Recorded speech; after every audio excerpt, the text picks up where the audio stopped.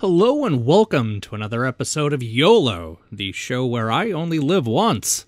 Today we're taking a look at Skyflower, a game I reviewed late last week. This is a mix between a traditional dungeon crawler and a dual stick shooter, but this game has some problems, as I'll address when we get into the gameplay.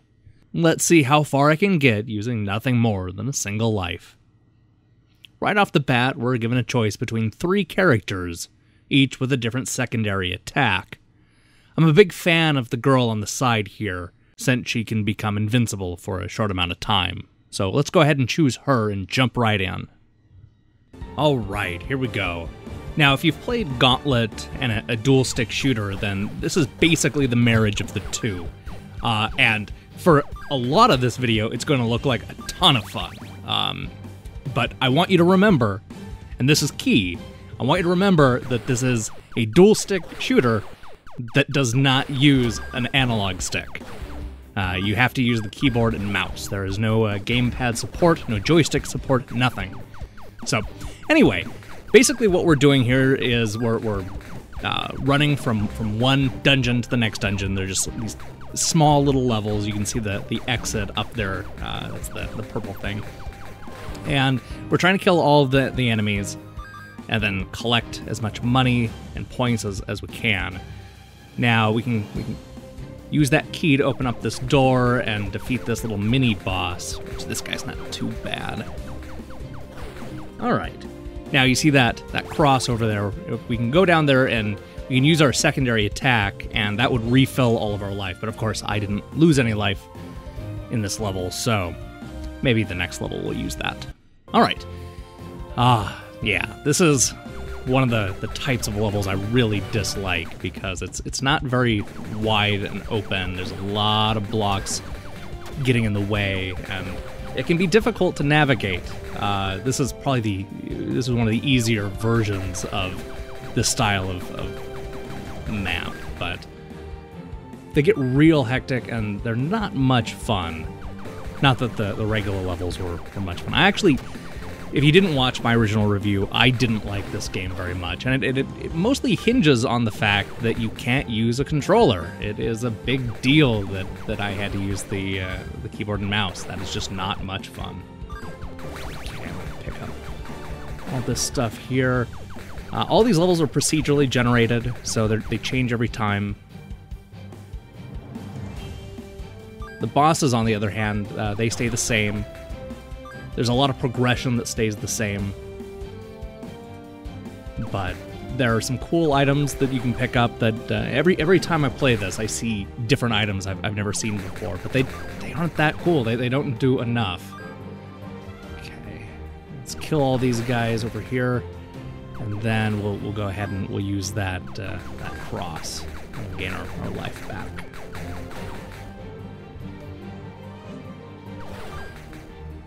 You're going to see a lot of the same types of enemies, but that's par for the course, I suppose. All right, now we use it, get our life back. And that's, that's real handy, but you can only use it once, uh, at least once per level. And almost every level has one. I don't think the boss levels do, but that's about it. Now again, I want to remind you that I'm using the mouse and keyboard, and that is not the best way to control a dual stick shooter. I often, I always thought that like the, the PSP and Dreamcast and, and Super NES, where you, you had to use a D-pad or an, one analog stick and then the face buttons. I always thought that was the worst way, but this turns out to be to be even worse. This is not the way you want to play any dual stick shooter. Oh. Gets hectic. These are these are still the, the, the easy levels. Oh. If you blow up the barrels, you'll see that they have different effects. Um, sometimes they'll explode into a, a bunch of different shards. Other times they'll leave items. Now we can use the money. You see there, we can use the money that we're we're collecting uh, to pick up items, but I don't see anything for sale yet. Maybe that'll come later on. Grab that health. Kill the bad guy, pick up the rice. What's the rice do? All right, more shots. Okay. I think this is going to be the I think this is the boss level, right? Yeah. Here we go. We're at the, the boss level now, and boy, that, that more shots is going to come in real handy because we can take this guy down real quick. Oh, yeah, I think we got him.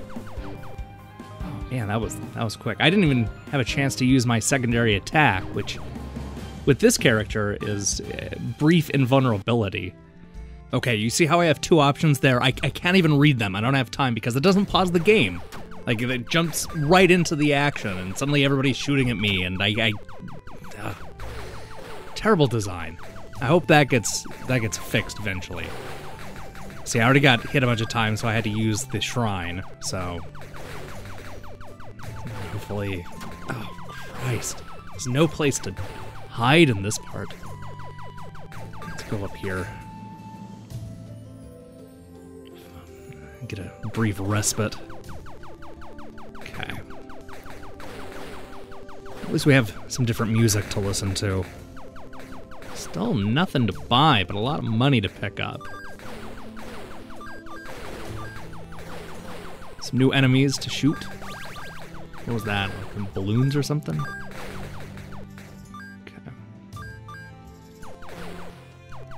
Like the, the worst part's behind us. I hope. Is this just a dead end over here? Yeah, okay. I guess we'll grab that health. I didn't really need it. Okay. With that cleared out, I don't even know what I picked up. That's the problem. It, it needs to pause it or, or, do it during a load screen or something like that. Because oh, let's let's deal with this mini boss. Oh, what's this guy? Seems pretty easy. There's more that more shot thing. That, that's that's a good power up. That rice. That's good. You have to remember that. Rice is good for you, I think. I don't know. Don't tell me if it's not, because I eat a lot of rice. Pick up that key. Another one where there's nothing to hide behind. No cover. Oh, it was a terrible spot. Oh no, this is horrible. I need to go find that shrine. Where is that? Oh, there's some life. Let's grab that. Okay, that should be. Oh no, no, no. Oh, okay. Well, well, this is likely the last time I play Skyflower until it gets proper gamepad support. It's simply too difficult to play a dual stick shooter effectively using a mouse and keyboard. It just shouldn't be done. Anyway, I'm currently hard at work on a bunch of new reviews, including Deception 4, The Nightmare Princess, and Way of the Samurai 4 on Steam. And don't forget to check out our other recent episode of YOLO, which had me trying out Zenza Zenzik, a much better dual stick shooter. I suggest you hit the subscribe button and support what we're doing here. We have a lot of cool videos coming up, and just like Aerosmith, you don't want to miss a thing. Until then,